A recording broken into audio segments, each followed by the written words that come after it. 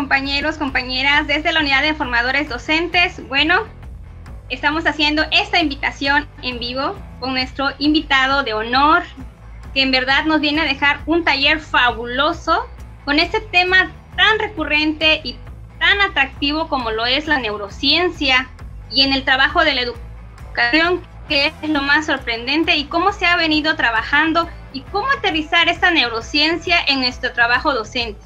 Bueno, y el maestro que nos viene a dar este taller es un excelente catedrático, que es de Argentina y sobre todo que ha sido eh, en diversos congresos, diversos talleres y sobre todo que ha tenido reconocimientos de excelencia profesional y menciones de profesionalismo como también invitado en diferentes congresos como lo es eh, Brasil, Panamá, Costa Rica, España y bueno, ¿qué puedo decirles de todos sus congresos y talleres? Así que tenemos un tallerista de excelencia y bueno, no puedo hablar más de quien ha hecho un proyecto súper que fue Medime, que esto ha sido en la República de Argentina, eh, que ha él expandido este proyecto de Medime, como también lo fue, Fopedi. Y entonces tenemos que tenerlo aquí en la unidad y eso nosotros un honor tenerlo para este día 3 de marzo a las 4 de la tarde al maestro Américo Sirvente. Bienvenido a la unidad de formadores docentes, maestro. Bueno, un gusto participar con ustedes. Qué bueno que eh, el contacto con ustedes, que yo no conocía su agrupación, su grupo, este, me haya convocado y me han convocado justamente porque me han visto en alguna de estas actividades. Y bueno, algo les cayó bien y me convocaron a que charláramos de neurociencias y humor para enseñar y aprender mejor.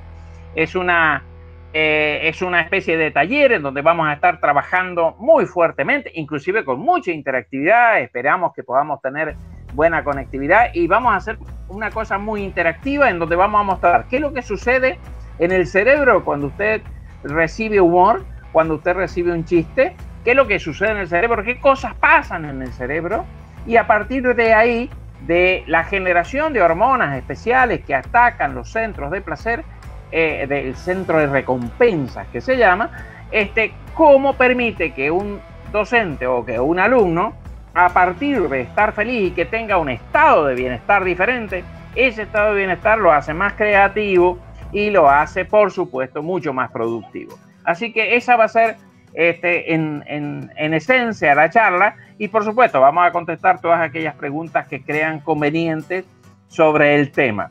Y este, también de pasada vamos a conversar un poquito sobre la metodología de diseño hipermedial de materiales educativos, permitido armar 450 páginas web educativas armadas en nuestros talleres, pero con los docentes. El docente es el diseñador de la página web y a partir de la pandemia hemos transformado esa metodología en una metodología para hacer videos educativos, también con las mismas características en forma de objetos virtuales de aprendizaje y subirlos a YouTube. Entre, en el camino han adquirido o van a adquirir en algunos de los talleres, adquieren lo que se llama competencias digitales, indudablemente para la época de la pandemia.